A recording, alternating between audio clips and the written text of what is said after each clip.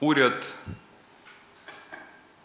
дав чіткі і жорсткі доручення щодо реальної боротьби з корупцією в країні. В країні, яка воює, в країні, яка витрачає мільярди на армію і оборону, де люди допомагають тому, щоб наші Збройні сили, щоб наша держава, наша країна встояла в цій жахливій війні з Росією.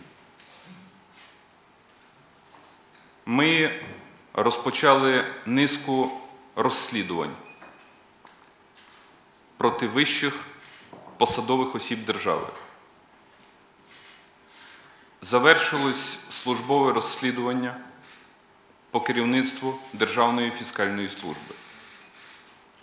Звільнений начальник податкової міліції, звільнений начальник митниці, в відставку подав голова Державної фіскальної служби.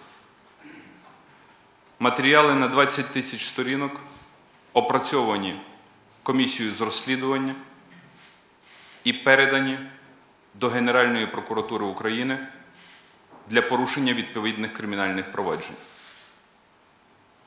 Уряд три тижні тому почав розслідування проти голови Державної фінансової інспекції, який, прикриваючись політичними силами, намагається втікти від відповідальності.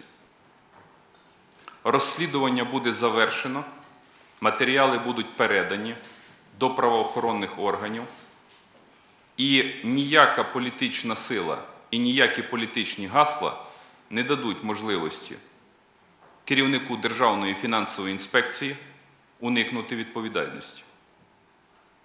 Міністерство внутрішніх справ розпочало розслідування проти керівників низки державних компаній, в тому числі Аграрний фонд, компанія Укрспирт, продовольча зернова компанія, об'єкти енергетики.